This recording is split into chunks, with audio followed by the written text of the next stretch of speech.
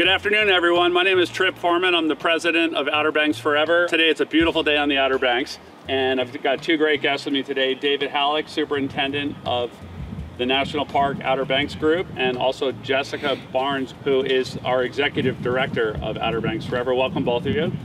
Thank you, Trip. Today we're here to talk about kicking off the multi-use path project going from Highway 12 to the Cape Hatteras Lighthouse and to the old site of the Cape Hatteras Lighthouse, the jetties. Uh, Dave, why don't you talk a little bit about where that project is right now? Yeah, this is a really exciting project trip. Uh, this is something that we've been talking about for many years and we're finally getting ready to kick off.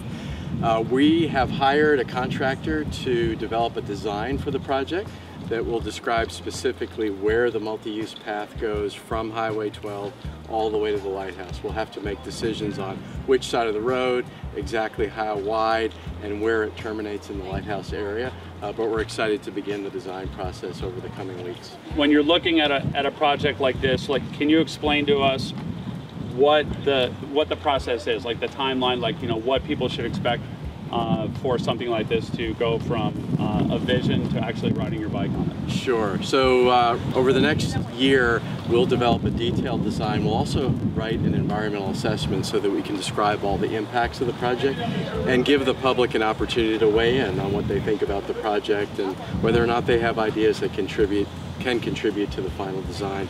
Uh, once that compliance and design is completed, we'll be looking and working with Outer Banks Forever to find funding to implement the construction. And uh, once we have the money ready to go, we'll begin the contracting process. So it's possible that in the next few years we could have the multi-use path completed, constructed, and ready to be used from the standpoint of somebody who drives down this road a lot, you know, either for surfing or in past years windsurfing, kiteboarding, uh, driving out to Cape Point. Uh, it's a beautiful drive, but I mean, there's no there's no shoulder on the road. It, it's like it, it seems like it would be one of the safer places to ride your bike, but it ends up being like one of the more dangerous places to ride your bike. And it's it's going to be a huge spread between riding your bike on it now uh, and riding it, you know, after this pathway is in, in place. Yeah, that's right. Once we implement the multi-use path, we will dramatically improve the safety of our uh, non-motorized travelers that are either biking, jogging, walking, hiking down the side of the road. They'll be separated from the traffic. They'll be on a nice, hard, safe surface, and they'll be able to get down here without driving. Jessica, let's talk about Outer Banks Forever. Uh, why don't you explain uh, to the viewers what Outer Banks Forever is and how they're going to be helping with this project? Yeah, so Outer Banks Forever, we are the nonprofit partner of our national parks of the Outer Banks, including Cape Hatteras National Seashore.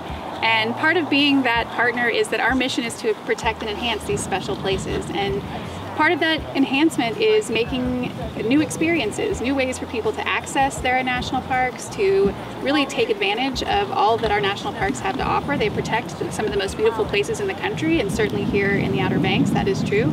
Cape Hatteras is one of the most beautiful places I think we can all agree that we have ever been, and some pristine beaches here. But there's a lot more to see and a lot more to explore, and so these pathways that we're working on, including this one here in Buxton, will not only help people to experience the national parks in a different way, but really we hope that this project will connect the community to their park even more than they already are. So make it safer, make it easier to access, and really just create, like I said, a new experience, a new way to, to visit the lighthouse, to visit the beach here.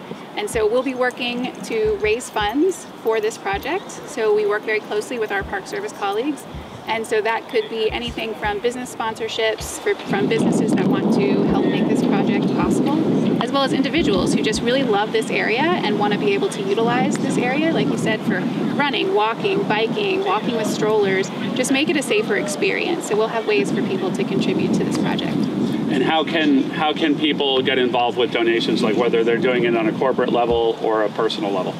So I think the first thing is visit our website, obxforever.org, and you'll find information about the project there. My contact information is there also. I'm always happy to talk about ways that people can get involved with our work and fund our work. And so we will be putting together a package that really outlines what the sponsorship levels are, specifically for businesses, but also we'll have uh, some really fun, I think, ways for individuals to contribute to this project, and that's something that's unique to us as an official nonprofit partner of the Park Service, is that we can not only accept those donations and help the park find this funding, do fundraising on their behalf, but we'll get to recognize our sponsors and our donors in the park as part of this project. So people could actually, you know, potentially see their names in their national park, which would be great.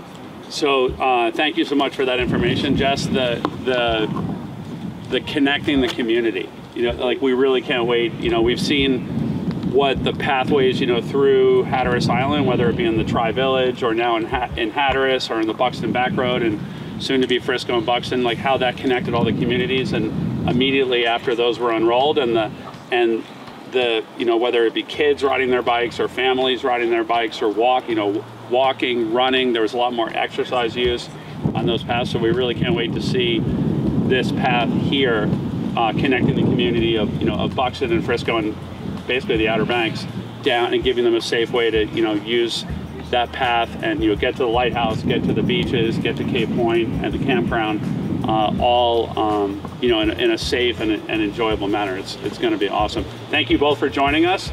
Uh, again, if you'd like to get involved in this project and make a donation either through your business or personally, you can do that at obxforever.org. And uh, thanks for tuning in.